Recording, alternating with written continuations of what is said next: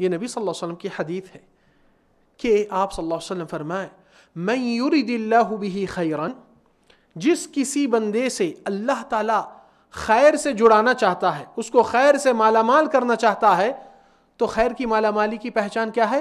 آپ صلی اللہ علیہ وسلم کیا فرمائیں زیادہ اولاد ہو جائے اس کو، زیادہ پوسٹ، زیادہ دولت، بڑی ڈگری، یہ ساری چیزوں کا کوئی اعتبار نہیں تھا نبی صلی اللہ علیہ وسلم کے نزدیک، مگر یہ سوال حدیث کے اندر، من یرید اللہ به خیرا یفقہ فی الدین.